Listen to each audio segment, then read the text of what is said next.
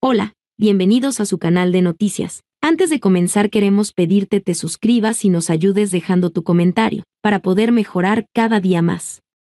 Comenzamos. Fallece Becky, leyenda del Milan y exentrenador de porteros del Real Madrid. El italiano Villan Becky es portero del Milan campeón de Europa 1969 y exentrenador de porteros del Real Madrid. Entre otros equipos, falleció este miércoles a los 73 años.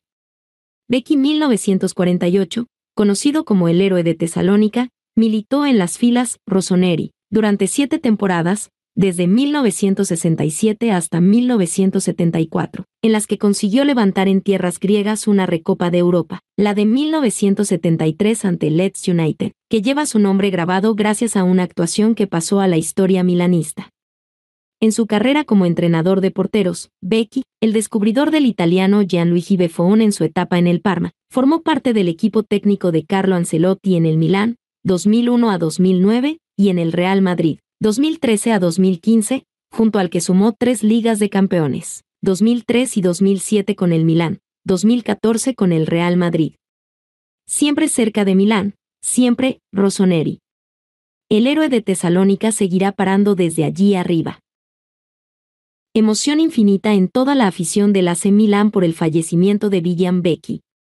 Condolencias a la familia de nuestro histórico número uno y entrenador de porteros campeón de Europa 2003 y 2007, publicó el Milán en su cuenta oficial de Twitter.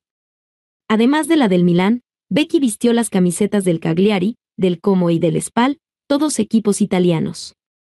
En total, el guardameta ganó como jugador un Scudetto, dos Copas de Italia, una Copa de Europa, dos recopas y una Copa Intercontinental. El Real Madrid también ha lamentado profundamente el fallecimiento del Becky, expresando sus condolencias y su cariño y afecto a sus familiares, a sus compañeros, a sus clubes y a todos sus seres queridos. Durante las dos temporadas que formó parte del cuerpo técnico del Real Madrid con Carlo Ancelotti como entrenador, Villan Becky ganó una Copa de Europa, un Mundial de Clubes, un Supercopa de Europa y una Copa del Rey. Descanse en paz, se recoge en el comunicado el club madrileño.